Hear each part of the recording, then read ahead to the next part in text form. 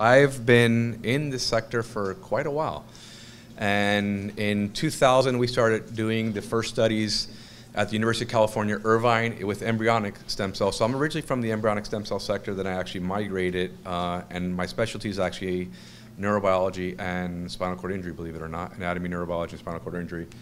Um, then I actually went into the adult stem cell sector, and then in general, cells, because cells are fascinating. Everybody spends, uh, I've already come, o- I'm over stem cells, actually, to be honest with you.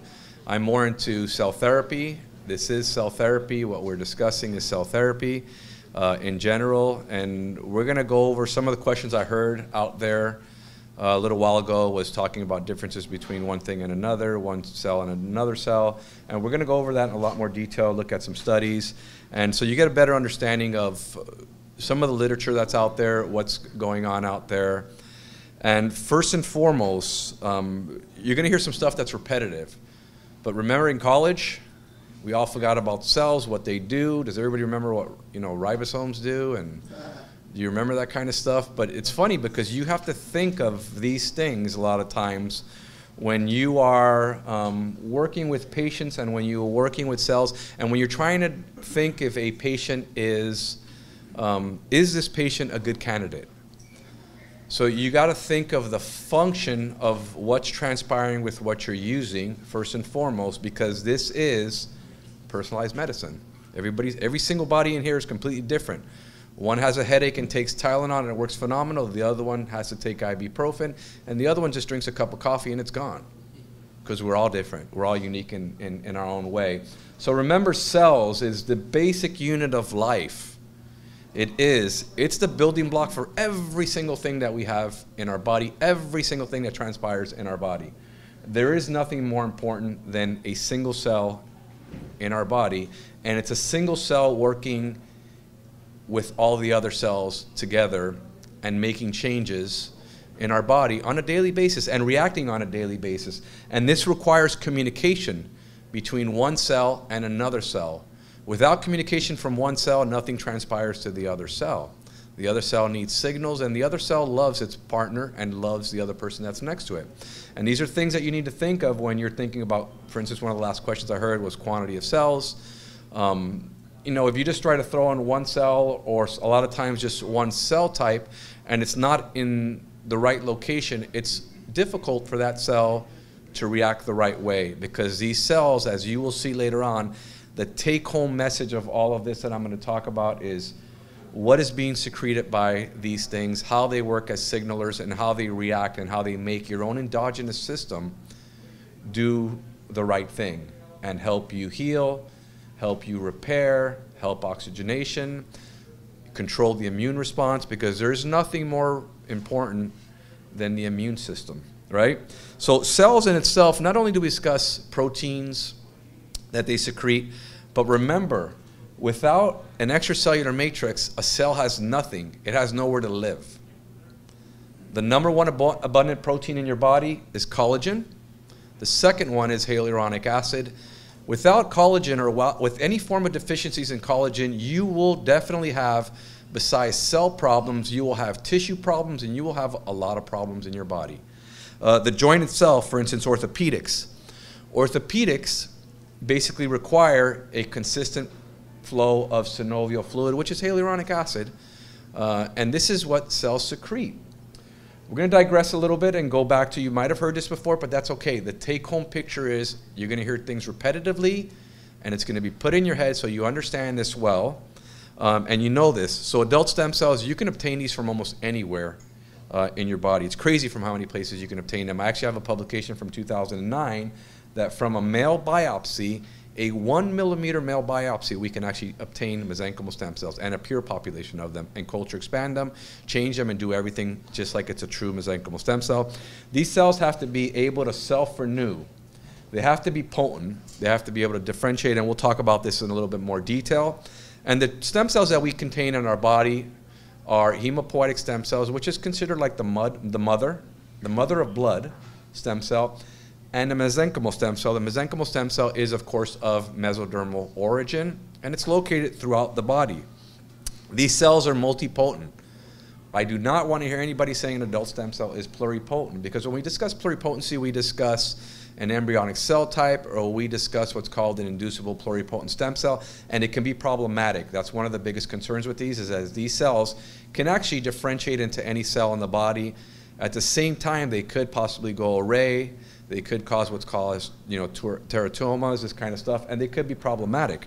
It's hard to differentiate or change those cells into a pure cell, into one specific pure cell type. You change that cell, that's a very, very naive cell, into, for instance, some of the work we did was into an oligodendrocyte.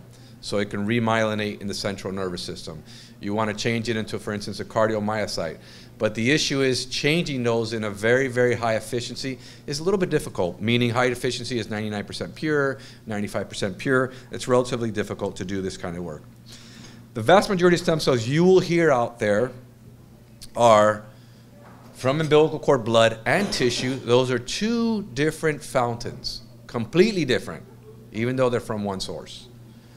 Adipose tissue which adipose tissues from you. So remember, that is autologous. It's an autologous cell source. And that's contained from you, um, which what you're actually using there is not necessarily the fat, but you're obtaining from fat a thing called stromal vascular fraction, which is a heterogeneous population of cells that contains a small fraction of stem cells. So it's not that it's bad. It's a good cell. It's a great cell to use, but it's not a pure stem cell. And then bone marrow, very same exact type of thing, similar, where you do bone marrow extraction, you obtain what's called the buffy coat, and this contains polymorphonuclear cells. It contains mononuclear cells in there, white cell type. It's about 1% of the, the bone marrow you obtain, just like blood when you do hematocrit. And from there, you have a vast different types, a bunch of different cell types. The two cell types that we talk about in autologous, I heard the question earlier, is these cells are as old as you are. Um, and we'll discuss those in a little bit more detail when we go along. From umbilical cord blood, remember, very similar to bone marrow, the blood, we obtain a mononuclear cell fraction, or Buffy coat 2. And it's similar to bone marrow, but of course, much more naive, much younger, and we're going to discuss logistics of that. And then from tissue, there are predominantly some cell types in there, but there's some stem cells in there that in the ideal situation, if you're going to use that cell source, you got to culture expand these to actually obtain a pure stem cell type from them. So this is a summary of all the different places that you can actually obtain uh, stem cells from. And I've probably worked with almost every one of these different tissue uh, sources except pancreas. Um, Jesus, that's, that's probably the only one that I haven't worked on. And, and actually retina I haven't worked on too. But I've been fortunate to work on almost any cell type you can actually think of uh, in the body from adult. So we're going to go into a lot more details of mesenchymal stem cells. You may have heard this before. We're going to go into a little bit more detail, though, on this. Um, you know, this is the present standard of mesenchymal stem cell. This present standard is old. It may sound as new to you, but this is from 2006. And this was actually determined by Dominici et al., their Italian group, really, really nice gentleman. I see him once a year in Spain at this conference I go to. And it's, it, it's, it's a, a concept of people were starting discussing the cell. There's quite a bit of data out there on this cell, which the cell was originally found by Friedenstein in 1974. But then Caplan took over uh, in the 1990s and named the cell, characterized the cell in a lot more detail. But the criteria is that these things have to adhere to plastic. What is that? That's the number one criteria. This thing needs to be able to bind to a petri dish to simplify it for you. When cells bind to a petri dish, they're able to multiply and they're able to divide. Um, if you take, for instance, bone marrow, or if you take umbilical cord blood, either one of those two, um, you will see a bunch of cells. The vast majority of the cells will actually float. And it's because a lot of these are immune cells. Immune cells don't adhere. They're not adherent, what we call, I'm a, by the way, I'm, I mean, like I said, I was a PhD. I grow up cells, so I know what these cells look like. And they don't adhere, they just float and they still propagate as they float, but the adherent ones are mesenchymal stem cells. They are MSCs, and there are other cell types in there that adhere. For instance, endothelial cells adhere. Uh, when you grow up endothelial cells, which is a very, very important cell type, we'll discuss a little bit more. That's in these uh, cord blood, in bone marrow. These cells release vascular endothelial growth factor, which is really, really important because what does this do? This helps increase vascularization. It does what's called angiogenesis in here, and what everybody know is known as angiogenesis. And it can increase blood flow. It can form new vasculature. And when we discuss forming new vasculature, we now discuss actually increasing blood flow to another area. So if you think about this aspect of it, and you think of patients that have some form of occlusion, stroke, heart, uh, chronic um, limb ischemia, uh, peripheral artery disease, this cell type may work really, really well for that. But anyway, these cells have to be positive for these markers, 105. These are markers that are located on the outside of a cell. These are proteins that are located on the outside of the cells, 105, 73, and 90. And they have to be negative. This is when you're producing a pure mesenchymal stem cell. Only a pure mesenchymal stem cell that's done in culture. Remember, this has to grow up. You've now modified the product, and it's a uh, product that's, that's actually grown. So it's negative for 34. That's a blood marker. That's the purpose of it. This is a hematopoietic stem cell marker, CD34. CD45 is found on leukocytes, on all leukocytes. CD1411, specifically a marker for a specific type of, of leukocyte, CD19, which is B cells. And one thing that's really, really important on this is HLA-DR. HLA-DR labels for MHC class 2 molecules. It has to be negative for that or it has to be negligible. The reason being is that a cell type can be positive for what's called MHC class 1, which is HLA ABC, but it cannot be because that's part of, remember, let's think back to our biology days, that is part of the innate immune response. The innate is your immediate immune response. The one that causes problems, graft versus host disease and other problems, autoimmune disease, is your secondary or your adaptive immune response. MHC class 2 is part of that secondary response. That's why it has to be negative. So what this is telling you with that is that you can take these cells, I can produce these cells from any one of you here, and as long as it's a pure population, I can put it into your neighbor. And as long as we've tested it well, which we'll go into testing parameters and all that in a little bit, then I can actually put it into your neighbor, and in the ideal situation, it'll work fine. Most importantly, you have to be able to change these cells into which is this is a publication I have from 2007 myself. And you got to be able to take these cells and change them into criteria is bone. So on your, uh, sorry, on your left, you will see a control panel, meaning this stuff um, has not been induced to change into any one of these tissue types. And on your right, you will see an induced product. And you'll see bone. And what that is is an alizarin red uh, stain. That stains for calcium deposit. You look at this underneath the microscope and you'll see this sort of like mineralization on there. It's pretty neat. The second one is cartilage. And what do we look at when we look at cartilage? We look at chondroitin sulfates or we look at proteoglycans. This particular is what's called an Alcian blue stain. And it stains for um, proteoglycans is what we're looking for. And lastly, you can see all the fat droplets. Mm -hmm that are floating on top of the cells that have released these fast, fat droplets. It has to be able to change into that, which is basically a oil red oil stain. It's an oil stain that actually goes against a, a liquid, so you can actually see the fat droplets well. This defines this particular cell type. Like I said, you can isolate this from bone marrow, fat, dental pulp, and umbilical cord tissue. These are the adult cell sorts that you'll see a lot. Placenta, synovial tissue, testes is one that we talked about. These are highly expandable, meaning I can expand a lot of these and produce these in a large amount, in an abundance, okay, without losing their ability to change into these different cell sources. So they maintain a just their, their, their natural source. However, as you replicate these, these age substantially, you will see. Uh, these, that's due because of aging, disease, and actually the culture, the, the, the, what you put them in, the food you put them in, can change them substantially. It's actually a really, really important component of it. We spend some time, and I'll show you some data that we have uh, on it, looking at maintaining stemness, looking at making sure the telomeres are shorter on them so they can actually multiply and, and, and they, they, they maintain somewhat what's called their plasticity. But these cells are not really designed um, to produce a tissue. You know, everybody thinks, you know, you take a stem cell, you put it inside, and you can replicate an organ, or that's not the case. You know, these cells are designed to signal um, is their primary uh, work. And this is their therapeutic activity of these particular cells. They can modulate the local immune system. So they can inhibit actually surveillance of other damaged tissues. Uh, they can inhibit autoimmune responses and inflammatory responses. And they do so, which we'll show some data in a little while, by basically shifting the response of what's called a pro inflammatory response, which is a Th1 response, to a Th2, which is an anti inflammatory response. That's one aspect. And another one is actually by upregulating in your body what's called a CD25 regulatory T cell. Uh, it's a really, really important cell type that we have in our body that surveils on a regular basis.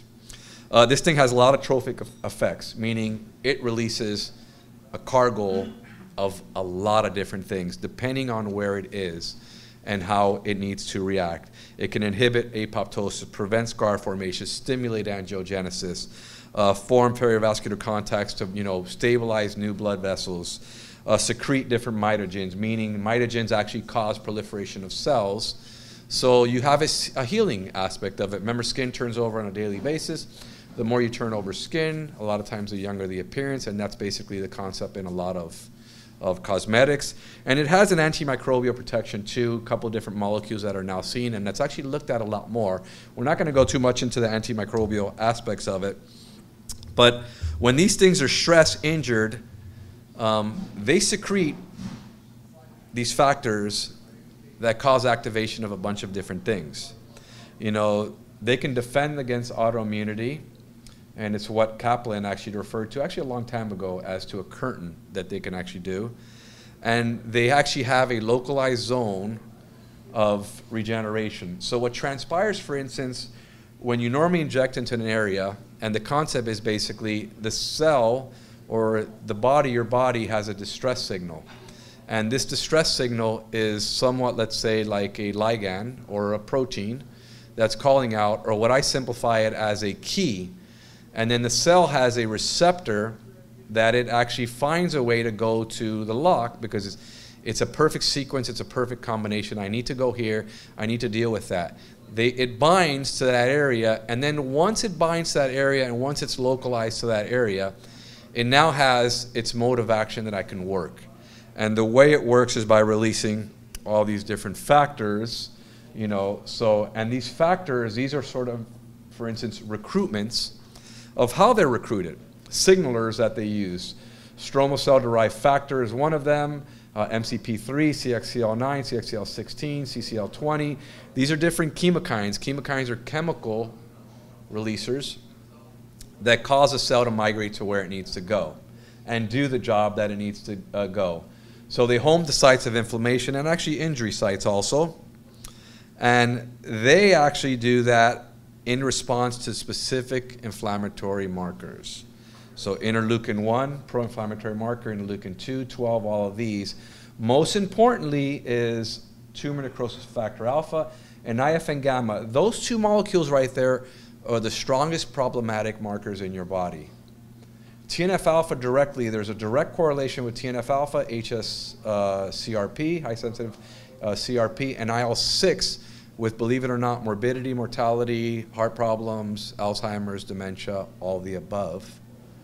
Um, and I'm assuming they should, sooner or later, this should, actually should be a standard of care for testing on aged individuals or as you age, because these are definitely markers of problems that are to come.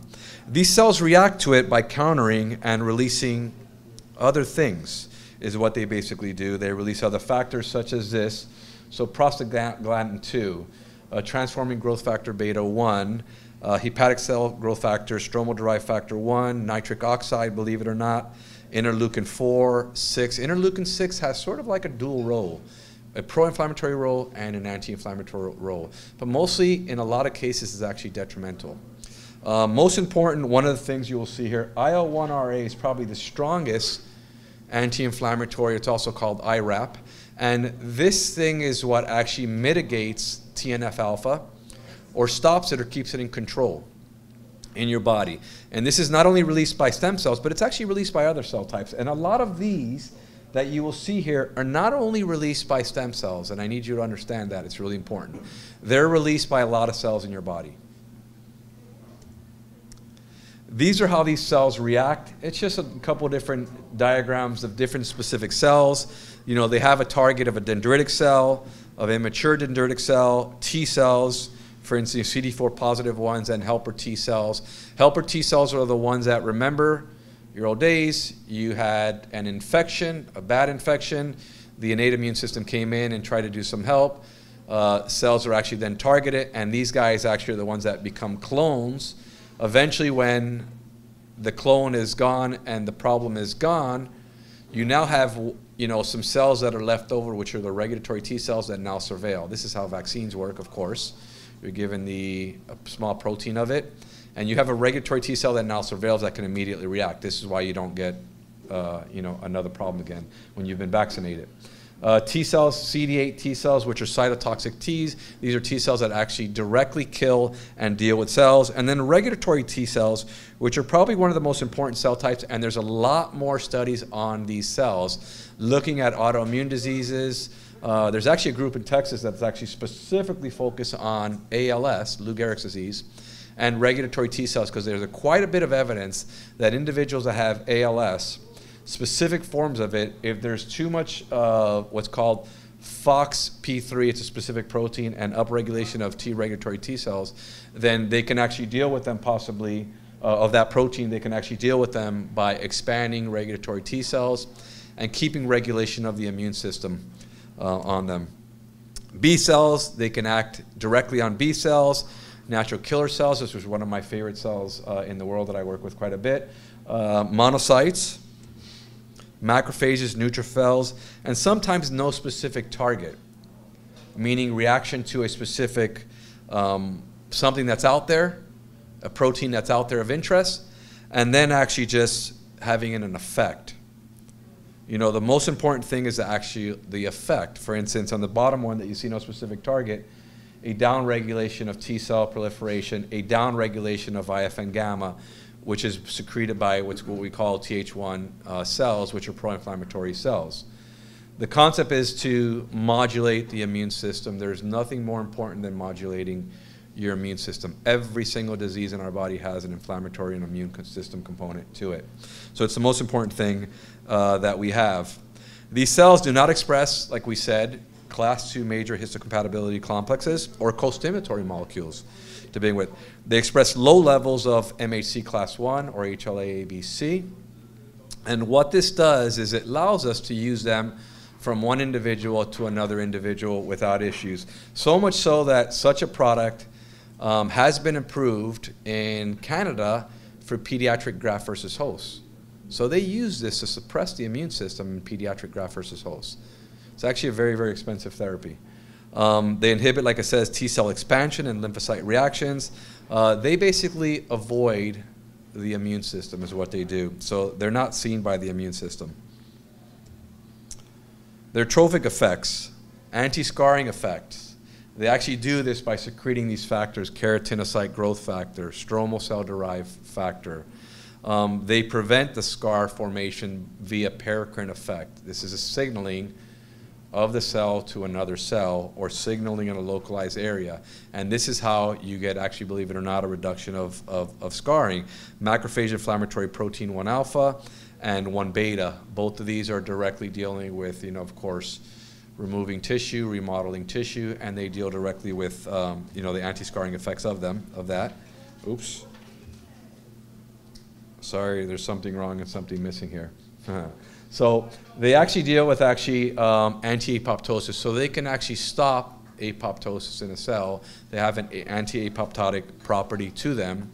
And the concept behind that is remember, the more and more cell turnover that you have in your body a lot of times, the more you age. We have a finite amount of cell divisions in our body, and eventually these cells divide, divide, divide, divide, and they become senesced, aged, old, which is everything from gray hair, wrinkles, fibrosis of the lung, liver, et cetera, et cetera.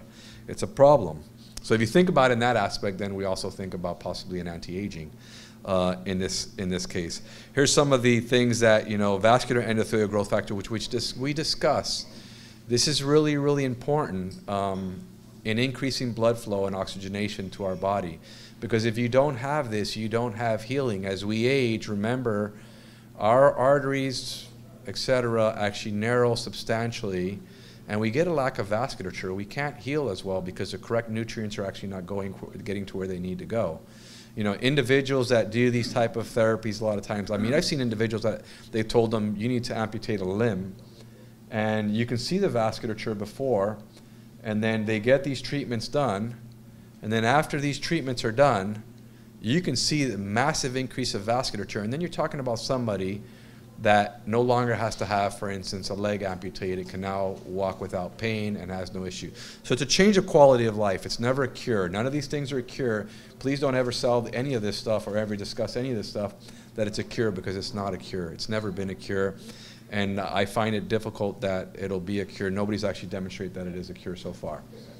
So it can reverse apoptosis through, like what we said, um, endothelial cells, you know, and specifically releasing specific growth factors uh, that it does. Most important aspect is, you know, besides the immune effect, angiogenesis, what we just described, increasing blood flow, directly acting with angiopoietin-1, which is one of the factors that actually permeabilizes the endothelial cell barrier, barrier as blood is flowing through there, uh, through our body. So cells can migrate and go to where they need to go and then form new vascularization. Uh, epidermal growth factors that you know that other chemokines that you know that, that are included in there, epidermal growth factor, and IGF-1, which we all know really well, um, that does a lot with making changes in your body, which decreases substantially as we age. The mitogenic effects, when we discuss mitogenic effect, is basically ability to cause younger cells to divide and cause cells that are that are stagnant and not doing much to actually divide and do the right thing. This is actually mediated by all these different factors that you see here. Predominantly, one of the strongest one is FGF2. This is actually one that we use quite a bit in cell culture to maintain proliferation and to maintain cells relatively young. It originally started out that this is one of the strongest factors in the embryonic sector. Um, and it's one that's the most used in vitro that we use. But now we can actually measure this, which we do a lot of times in blood samples and whatnot. And we can see once you've put these cells or use specific factors in there, we can see an upregulation of this particular protein that is beneficial for you. In a nutshell, when we discuss mechanism action, this is a really, really nice graph that puts all of it in play. Absolutely all of it. And these cells are derived from pericytes, which the one that determined this was also Arnold Caplan. And these are basically ready to migrate into the endothelium and into the, into the vasculature. They're loosely attached once they're ready to go as an MSC. They free themselves up, they become activated, and start working on specific mechanisms of all these different um, factors that you see, and they'll start releasing all these. These are all the trophic effects. And then what ends up happening with all these different tro trophic effects, whether it's anti-scarring, anti-apoptotic, angiogenic, mitogenic, um, immunomodulatory, or antimicrobial, these are the two different factors so far that we know that act on specific um, bacterium. And then they actually reestablish the microenvironment. The concept is basically to go to a homeostasis, to become, have an area that becomes homeostatic again, and then the, the problem can actually um, hopefully go away if we've, we've treated it the right way. So these regenerative medicine products are obtained from immune cells, endothelial cells, stem cells. These are regenerative medicine products, okay? Not just MSCs. When we talk about different products that are out there, uh, the only way you obtain this mesenchymal stem cell is remember, once again, from you proliferating that cell and you demonstrating that you can adhere to plastic. However, all these cells that you see up here all have a beneficial effect. From fat, you obtain immune cells, endothelial cells, stem cells, other cell types that are in there. From birthing tissue, matrix, stem cells, endothelial cells, these other cells. But remember, in all these products, when we discuss stem cells, it's in a very small frequency. But no matter what, we are dis we're, we're discussing regenerative medicine. Because your immune system, remember, before there was stem cells, before there was anything else, there was really nothing, right? And there was no discuss of stem cells doing anything. There was discuss of when you cut yourself, what helps regenerate everything. What's the start? The start is the immune system. The immune system is the mo most important cell that you have. uh, in your body, whether it's detrimental, whether it's healing, whether it's not, it reacts the way it needs to. Let's start discussing a little bit more allogeneic products, and so we can actually differentiate uh, products, one product from another product. Umbilical cord blood itself uh, is something that has been used for much greater than 40 years in the umbilical cord blood industry, as you know. And the original concept was basically, of course, reconstitution of the hemopoietic system. But as time has progressed and science has progressed, uh, this stuff is actually being used for a lot more than just that. And it makes complete sense that it can help. Uh, the interesting thing is back, there's a couple publications from a really, really long time ago where they would take, uh, they had a shortage of blood and they needed to do blood transfers from, from children. And all they did was ABO type and pure umbilical cord blood. And they use this as transfusion to other patients and it's completely safe for blood transfusion into children. Um, this product, so I said, like it, it contains stem cells, immune cells, endothelial cells, um, and a high abundance of what's called human vein endothelial cells, which we call HUVEC cells. The two different stem cells that are in there are a blood stem cell and a mesenchymal stem cell. They've been used for a really, really long time, and they're safe in, any, in, in a lot of various different uh, diseases. And they've been shown to be a better source for allogeneic transplant than bone marrow. The reason being is because they engraft much better and a better efficiency. So why umbilical cord blood? Here's a simple publication right here where they look at differences between uh, mesenchymal stem cells that are obtained from umbilical cord blood, bone marrow, and the stromal vascular fraction. And what they ended up doing was looking at it in a lung model in an animal. What they found was there was a benefit when the largest benefit actually when they actually used the allogeneic product versus using the autologous product because of one specific factor, and they pinpointed one specific factor that we actually talked about a little while ago, and that's ANG1, because what it basically did was increase blood flow to the lungs, is the hypothesis, and we now had much more of a what's called a healing trophic effect uh, that it was able to do. And they demonstrated that too by actually blocking to make sure that that was a mechanism that they found. They actually blocked ANG1 and they actually saw no effect, uh, which is right here in, one, in this graph right down here on there. So continuing on with why using another cell versus your own cell has to do with several things. Age of cells, disease, and the properties and also clinical work out there. So take a look at this nice little graph. Do you remember your hand when you were uh, 20? I don't know. My hand's not quite to that other one on the right, but or on the left to on the right to you guys too. But anyway, you know, this is what transpires over time. And the reason why I put this up here is because this right here is an umbilical cord MSC. And you can see these are nice little triangular smaller cells that run in the range of about 12 microns, 14 microns. As you divide these cells up and continue to propagate them, they age just like we age. They age in, in vitro in a artificial environment. But this is actually not an after. This is actually from a 40-year-old at the same time point as this time point right here. Much larger, much more stress. Some of them actually look like they're actually senesced. Uh, for instance, I can, on my screen I can see it, but it's a little hard to see. Right here there's a very, very wide one. Um, and that wide one right there is what we call almost like a senesced cell, that it no longer has the correct function, it doesn't work right. The difference between this and this is I can probably grow this up. I can obtain about 90 population doublings in vitro on this, and this product from a 40-year-old, I can obtain about 20 population doublings. The problem is when I'm at about five or six population doublings, I now have a 50, 60-year-old cell. And here, when I'm at about 30 population doublings, I still have a 14-year-old cell. That's a big problem with these cells. You can see a, uh, you know, here's some work that we've actually done and looked at where you look at exponential growth of these umbilical cord allogeneic cells. And then these cells are, they're, they're not bad. These are from a 40-year-old. One of them is fat, one of them is bone marrow. Um, and they start to ward off and they don't produce as much cells. Most importantly is that when we discuss stem cells and stemness, or the ability to replicate itself, is the clones that they produce. You know, we do these things that's called, they're CFUs, colony forming units, but they're also called limiting dilution assays. And the limiting dilution assays is when you basically played out a control of 10,000 cells and then you just played out 100 cells in one of these plates. That means one cell per centimeter squared, which basically, if it's not a stem cell, it's not going to grow. There's no way because it's got to produce a clone of itself.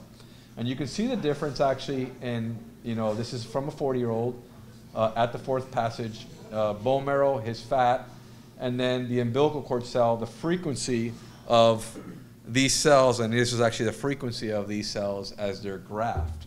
So basically, as you age, even the, even the youngest of the fatter bone marrow is still not equivalent to the, the, uh, the stemness, sort of say, of the oldest of the umbilical cord.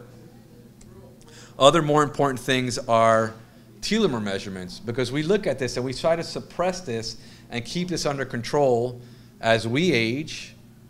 And we try to keep this under control actually in culture. And we do this by doing specific feedings using specific foods that we're able to do this. Um, everybody knows what telomeres are, right? Everybody understands what transpires with telomeres. So just a quick update, and I bet a lot of people don't know. So when you, when egg and sperm fuse, we have about five, 15,000, excuse me, 15,000 base pairs. During that nine month development period, 5,000 base pairs are wiped out. You're born with about 10,000 base pairs. So we start off at about 10,000 base pairs. And during life, all life, whether you live to 50, 80, 90, 100, you only, believe it or not, wipe out about 5,000 base pairs. And it all depends on everything that you do, diet, et cetera, et cetera. Actually, the only thing that's proven is caloric restriction to maintain telomeres, to increase telomerase activity, uh, this type of thing. Because there is an enzyme that stops cleaving or actually piles on telomeres to stop this aging effect that transpires. And then the other thing you need to understand is not telomeres are not found in every single cell in your body too. It's only in certain cells in your body. But anyway, as we culture expand these cells and as we propagate them, what we call propagating them out, their telomere lengths are, um, are shortened. Uh, this work, I was fortunate to work with probably the best group in the world. They are the best group in the world with actually measuring telomere attrition. Life Length out of Spain, they are the pioneers and the best in that. Um, and they did work, these are the same exact from you know, bone marrow from fat. And you can see, even at the latest time point, that these are maintained at 7,500 base pairs. Even the youngest of bone marrow fat are still much older. You know, and at passage six, like we said, we're starting to get a little bit short, and the cells are not going to function uh, as well, including the protective mechanism on, an on a younger cell versus an older cell. Look at this as we get aged, the amount of telomerase that increases telomeres increases substantial. So these cells are secreting this stuff to try to maintain their youth. That's what they do. They work different. They have the ability to secrete a lot more things. I want to give you some instances of some phenomenal work in the autologous sector. But the reason, the purpose behind this is so, so you gather a, a, basic understanding of hypothetically thinking of what can transpire. This work is there's the two different publications I'm going to discuss here. Um, they're both from the Burt et al. group, which does phenomenal work. These guys basically looked at uh, non-myeloablation. So remember, you're doing a chemotherapy on a patient, on a patient that has multiple sclerosis, 151 patients with relapse remitting MS and then secondary progressive.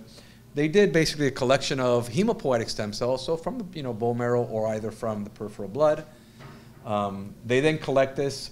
They do a, which is problematic. I mean, there's, there's risk to it. Do a non-myeloablation. And then you do basically a bone marrow transplant is what you're basically doing. And what they saw was 41 of the patients improved 50% in their disability up to two years, 23%, 23 patients, excuse me, 64% improvement in disability scale at four years. An overall improvement in many aspects. They continue to do these studies, adding more and more patients on there. Um, but the only issue with this is that if you read the publication well, the patients will revert eventually. And it makes sense if you think about it. You're putting in a naive cell, you're starting them from a younger time point, and the good thing about this is this tells you that the immune system controls a lot. And I'll show you some more evidence that it does. The immune system controls practically everything in your body. Um, and this basically tells you that eventually there's some form of a genetic problem which we don't know. There's some form of a cue or signal as you age or as these cells age that we don't know that causes these disease. Same exact thing, the same group, same exact thing in diabetic diabetes type 1. The great thing is that some of these patients, believe it or not, and these are type 1 diabetics, were insulin free, um, I believe it was up to 48 months. But they all, even the ones that were insulin free, they revert back. So that means that there's something in your own body that is transpiring, there's some form of mutation, there's some form of signal that is problematic, that can be problematic. And this is actually demonstrated when we do studies directly as scientists and look at this, where in this case, EAE is an uh, experimental autoimmune encephalitis model, and I've worked with that one, another model that's called the HBV model that actually deals also with MS direct. And these cause debilitating problems in this mice overnight. You're talking about a mouse that can't walk, can't drink, can't do anything. You have to feed them, you have to do everything with them. We take stem cells, we put them in them, and it's like night and day sometimes. It's crazy. I mean, and they'll, they'll get worse and worse and worse, and if you don't take care of them well, they will succumb to the, these, you know, these things that we give them. But the interesting thing is when they obtain a stem cells from fat of that particular mouse and they put it back into that mouse, it didn't help the mouse very much. But when they took the knockout version, meaning the normal version of that mouse, and they put it into that diseased mouse, the mouse became practically normal. The mouse was able to walk, feed itself, and do everything. So it tells you that there's something wrong with the individual that has an immune problem, that these cells do not work, sorry, that these cells do not work. So much so in this study right here, they took these particular cells from multiple sclerosis patients and from normal patients, and they profiled them. And what they found, for instance, was there's a decrease, remember the markers that we discussed, 105, CD3, and there's a decrease actually in immune system cells, expression of these markers. That means that they don't work. Uh, there was 618 different genes that were expressed, that were downregulated, that were not doing the job that they're supposed to do. Remember these genes that we talked about on how these cells work, TGF beta 1, HGF, FGF? Um, the pathways were not working correctly. And this means that there's a problem with these individuals that have these autoimmune diseases that we, if we use their own cells, it can be a problem. This was one of the most fascinating articles, and you should, if you, if you please get a chance, pick it up, read it. Just type in, uh, he got schizophrenia, he got cured, cancer. It's from the New York Times, and this is amazing. And this definitely demonstrates uh, the power of the immune system because this is an individual that had cancer, um, and when he had cancer, he was cured of his cancer. His brother was his donor. It's an allogeneic transplant. His brother was a donor. And after he was cured of his cancer, his brother had schizophrenia, and then so did he. He got schizophrenia. So that shows you the power of this. Another, another uh, uh, different on this publication that you'll read is, I mean, they discuss a couple different things that are, that are theories out there and therapies, but one individual that had schizophrenia and had cancer, both things, had a transplant from a sibling that did not have schizophrenia and was cured from both cancer and schizophrenia. So it tells you there's direct correlation with the immune system, neuro, and we of course also know there's a direct correlation with gut, with neuro also too, because how many times you eat some bad food, you get a massive headache and you feel like crap, right? So why allogeneic continue on? These are basically now considered like the gold standard, and it's because of the abundance of what they secrete, what they can do, how they work. Um, studies such as stuff show that they're safe. You know, this group right here, I'm actually working with them now out of China. They've actually treated over a thousand patients in an abundance of different of autoimmune diseases with these cell types. And they found the best efficacy uh, with them. This is a publication actually from years ago. Uh, 172 patients, they found no adverse events. Serum levels of, remember what we discussed, TNF alpha and IL 6 were decreased significantly. The regulatory cells were increased significantly, which is probably one of the most important aspects of it. Remission of disease according to the ACR improvement criteria, DAS 28, and the HAQ scoring on these patients. There's other evidence out there that it works quite a bit, including there's a, a publication out there that is pretty neat. It discusses using current standards of biologics for autoimmune disease, meaning the anti-CD20s that you see a million commercials on, uh, the anti-TNF alphas that you see a million commercials on with a million different um, side effects on after. And it discusses comparing these with the actually these cell types.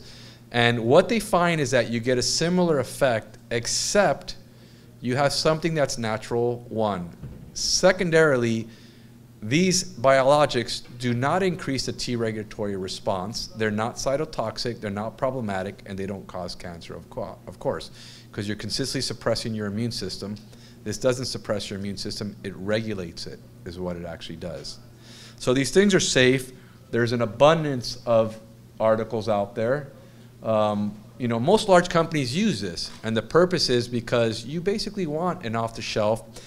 It, it's hard to, you know, you're still going to have your patient population that no matter what, and there's quite a bit people that say, I do not, not want something else, somebody else's cells inside of me. They worry about genetics, they worry about DNA, they worry about this kind of stuff, and there's still individuals that have that. It works.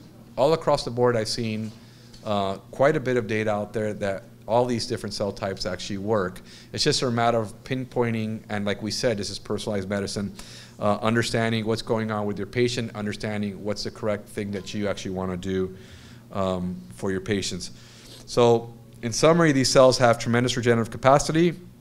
The greatest amount of data out there in the cell therapeutic field is actually in the mesenchymal stem cell uh, therapy.